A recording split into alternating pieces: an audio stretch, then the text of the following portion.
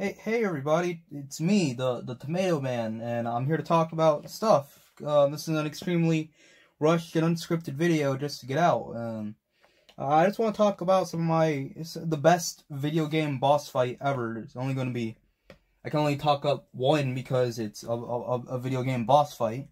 And we're going to talk about the best one. And, you know, for me personally, I think the best video game boss fight is, um, that that weird pyramid thing in Super Mario 64. Um, I it, it is an extremely fun boss fight. You know, yeah, just, just running around and but punching it in the eyeballs just to get that power star. And Mario 64 is a fun game and it's full of fun challenges, but uh, Mario 64 has always had some some cool boss fights. You know, the the, the four of them that the game has.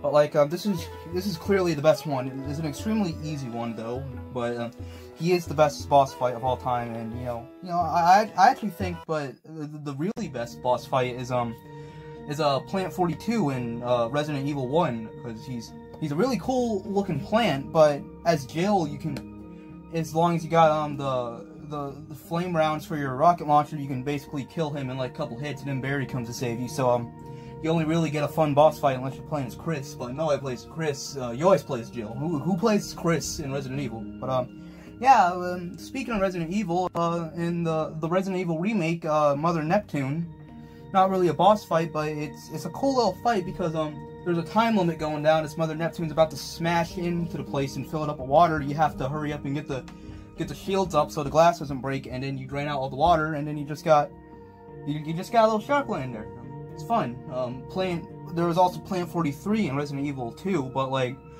you never really fought it. It was just there, just stood around all the time. But um, yeah. Speaking of Resident Evil, um, the the weird alligator thing in Resident Evil 4 is also a really cool and fun boss fight, and because like you're just sitting there on your boat, you're you're going out, you don't know what's under there, and all of a sudden this giant fishy thing just comes out and tries to kill you, and you can't use your gun, so you're you're just throwing hooks at it. It's it's a really fun and creative boss fight, and I definitely recommend that that boss fight. It's really fun boss fight, and I I, I recommend it. Yeah, but you know, I think I think the best boss fight of all time is a uh, is a Doctor Octopus at the end of Spider-Man 2. Um, uh, he is an extremely hard boss fight and takes a long time to kill. And for me, it took you like uh, about a week just to beat that game because he was extremely hard and sucked. But once you once you finally beat him, you are you feel so satisfied and rewarded. He rewarded. It it's so it's so nice just to like when you play a game that's extremely hard. It's so nice to just just kill a boss that that causes you so much pain and stress.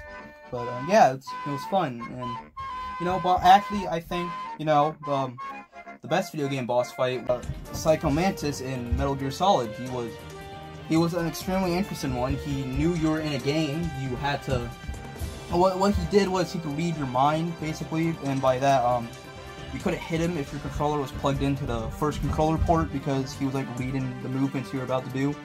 So in order to really beat him, you had to plug the controller into the second port, and um, he, he's just a cool boss fight. He he goes invisible, he throws stuff at you, you have to, you have to dodge it all. It's, it's a really cool boss, and yeah, I, I love that fight. It's, it's fun and creative. You know, speaking of Metal Gear, um, there's also the Gray Fox in Metal Gear Solid. He's also a really cool boss fight. and you, you, you can't use your weapons. It's a fist-to-fist -fist combat, which proves how manly you are. Because Snake ain't no pussy. He's gonna do whatever he wants. But like, yeah, it's a, a really fun boss fight. It's really fun. I, I enjoyed it a lot. But yeah, you know, and also speaking of Metal Gear Solid, Solid, um, Metal Gear Rex at the end of Metal Gear Solid. It's also a really cool boss fight. He is Oh, oh my throat. He is a he's an awesome boss. He's running around, uh, having to shoot him with the with your um, stinger. It, it's a fun boss. Um, liquid snakes up in there and everything that. Um, you know, I can just go on and on all day about Metal Gear Solid because every boss in Metal Gear Solid is great. Like Revolver Ocelot, you're just running in a big circle trying to catch him and shoot him because he, he he's a, he's a little pussy and he can't he keeps running away because he sucks and his bullets ricochet off the walls. So you gotta you gotta go around and try to stop him. But um, yeah, a really really fun boss fight. Um, it's it's so fun. Um, but you know, I think really the best video game boss fight of all time is a best video game boss fight of all time is a is a the snowboarding scene in Final Fantasy VII because you know that that's a hard boss to beat. Just going down all those slides, trying to trying to master snowboarding because you suck at the game. You you just gotta admit that you suck at Final Fantasy Final Fantasy 7 if you can't beat the, the snowboarding level, even though that game's extremely easy. But like, you know, the, the snowboarding level is the hardest part in the game and is extremely hard to beat.